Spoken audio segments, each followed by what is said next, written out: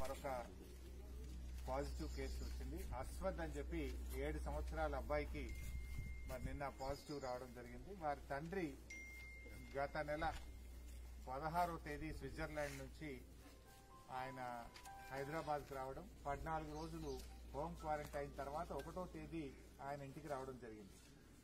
So ఒకటో తేదీ ఇంటికి వచ్చిన తర్వాత ఐదో తేదీ కొడుకు కొంచెం దగ్గు రావడం ఆ తర్వాత హాస్పిటల్కి వెళ్ళి చెక్ చేసేటువంటి క్రమంలో మరి నిన్న ఏడు సంవత్సరాల అబ్బాయి అశ్వత్కు కరోనా పాజిటివ్ రావడం జరిగింది. సో వెంటనే ఆ తండ్రిని మరియు అబ్బాయిని గాంధీ ఆసుపత్రికి షిఫ్ట్ చేయడం జరిగింది. ఈ సందర్భంగా మేము ప్రజలందరికీ కూడా చేసే విజ్ఞప్తి ఒకటే ఏంటంటే ఈ ప్రాంతంలో మనకు రెండు కేసులు వచ్చినాయి. సుయోధన్ రెడ్డి కేసు ఒకటి వచ్చింది. ఇప్పుడు అశ్వత్ కేసు పక్క పక్కనే వచ్చినాయి కనుక. ఈ పూర్తిగా ఈ ఏరియానంతా కూడా మనము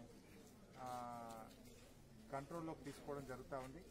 దయచేసి ప్రజలు కూడా ఎవరు భయపడాల్సిన అవసరం లేదు ఆందోళన చెందాల్సిన అవసరం లేదు కానీ మీరు ఇళ్ళలో నుంచి బయటకు రాకండి. ఒక ప్రత్యేకమైన యాప్ జిల్లా కలెక్టర్ గారు రూపొందించినారు.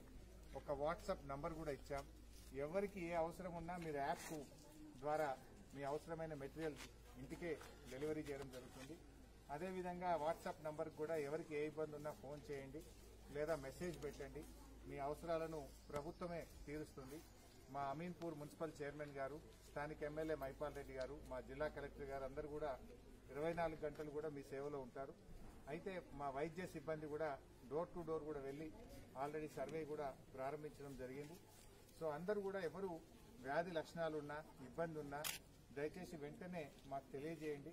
డెఫినెట్గా మీకు ఇరవై నాలుగు గంటలు మా పోలీస్ అధికారులు వైద్య సిబ్బంది మా రెవెన్యూ సిబ్బంది లోకల్గా మా మున్సిపల్ చైర్మన్ గారు ఎమ్మెల్యే గారు కూడా అందుబాటులో ఉంటారు. ప్రజలు ఎవరు కూడా బయటకు రాకుండా ఉండండి.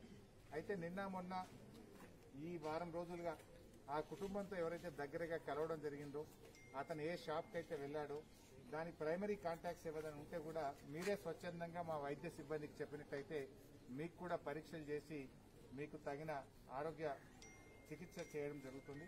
అందువల్ల స్వచ్ఛందంగా ముందుకు వచ్చి ఆ ప్రైమరీ కాంటాక్ట్స్ ఉన్న వాళ్ళందరూ కూడా వైద్య సిబ్బందికి తెలియజేయాలని చెప్పి కూడా ఈ సందర్భంగా కోరుతున్నాం. సో ఎవరు ఆందోళన అవద్దు కాకపోతే ఎవరు కూడా ఇళ్ళలో నుంచి బయటకు రావద్దు. మీ ఇళ్ళలోనే మీరు ఉండండి యాప్ను వినియోగించుకోండి వాట్సాప్ నంబర్కు మెసేజ్ ఇవ్వండి.